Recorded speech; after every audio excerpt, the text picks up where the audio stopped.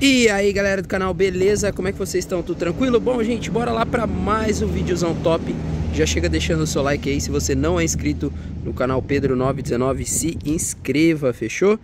É...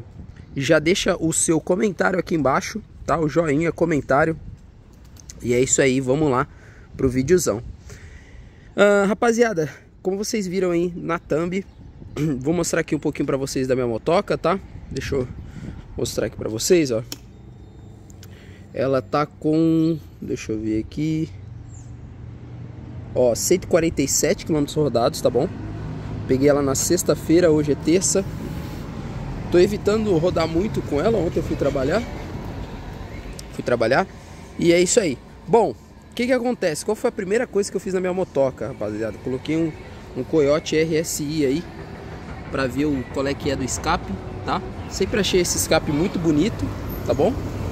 É, de, desde de criancinha sempre achei esse escape muito louco, sabe? Tem gente que acha feio aí. E sempre achei esse escape muito, muito bacana. Lembra aqueles escapes de corrida da, da, do começo dos anos 2000 da MotoGP, né? Um formato bem parecido. E, e aí eu precisava de um quebra-galho. Porque tá com cara meio de... Falou que vai dar chuva. E aí eu já falei, não, eu não vou sujar o meu, a minha tinta do escape original, né? Como eu já vou rodar com escape esportivo, já vou meter bala. E eu comprei esse aí, chegava rapidinho, chegava, comprava hoje, chegava no outro dia, acabei comprando, matei a curiosidade e eu vou trazer aqui para vocês um pouco disso, tá? Mas antes eu já sei que vai ter gente perguntando e algumas dúvidas, a, a, as quais são, né? Garantia, Garantia da Honda, como é que faz? Você perde a garantia? Então, galera, isso aí é muito delicado, porque quem fornece a garantia para você de 3 anos é a montadora Honda. Só que quem é o agente intermediador disso tudo é a concessionária. Então, assim, qual, como que funciona? Você teve eventualmente algum problema na sua moto, você vai até a concessionária e a concessionária comunica à montadora, entendeu? E é a montadora que decide se vai ter garantia ou não. Nesse caso aqui, escapamento é uma coisa que é relativamente tranquila. Por quê?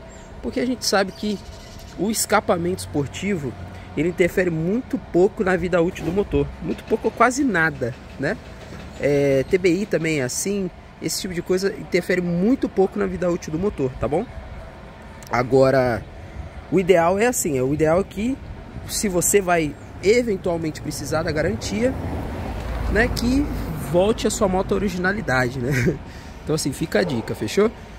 Beleza? Então é isso aí. Agora a questão de escapamento esportivo é, é basicamente isso. Ele interfere quase nada na, na, na, vida útil do motor. Quem fala que ah, muda mistura, que não sei o que, pipipi, popopó, são, são parâmetros muito baixos, ok?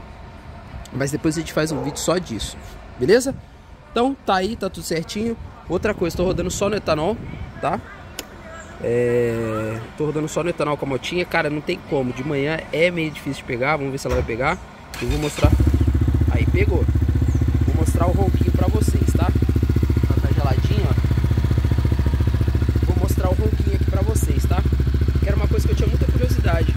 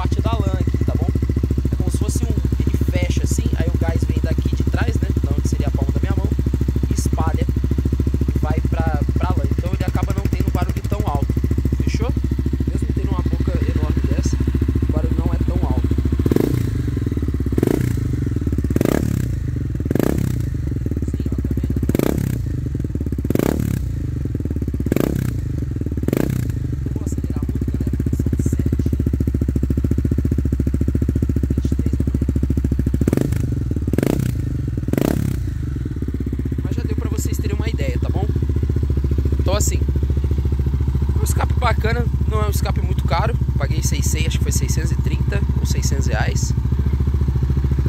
E assim, quebra galho bacana, eu gostei. Achei bacana, acho que casou aqui com, com um pouco o design da moto. Olha ele aí, ó. Bom dia, meu querido. Casou um pouquinho com, com o design da moto. Eu achei bacana. E eu particularmente gosto bastante, beleza? É, e lembrando aí, galera, seguinte, é, vamos ver aí, talvez eu acho que eu vou comprar um outro escapamento hoje, tá? Eu acabei achando aí um, um escape muito bom, uma marca aí, uma das mais conhecidas do Brasil, se não for a mais conhecida do Brasil, questão de escapamento aí de, de moto de baixa cilindrada.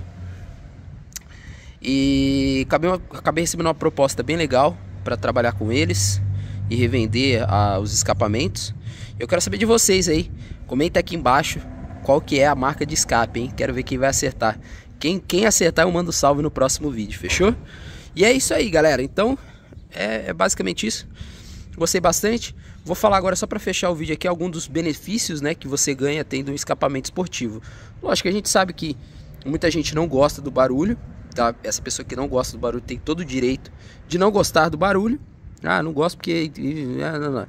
Beleza, pega aí, coloca um tampãozinho no ouvido e anda com o ouvido fechado, beleza? Mas é, para mim o escapamento ele na moto ele é essencial. Por quê? Porque você a moto você precisa ser ouvido, né? A, dire, a, a, direção defensiva da moto ela tem que ser bem ativa. Então ela acaba ajudando você nesse quesito, né? Os, os motoristas que estão nos carros eles conseguem eles conseguem ouvir você chegando, sabem onde você está através do som. E para mim acho que isso já é o, o importantíssimo assim. Né? Então questão de segurança é show de bola. Escapamento esportivo te ajuda bastante.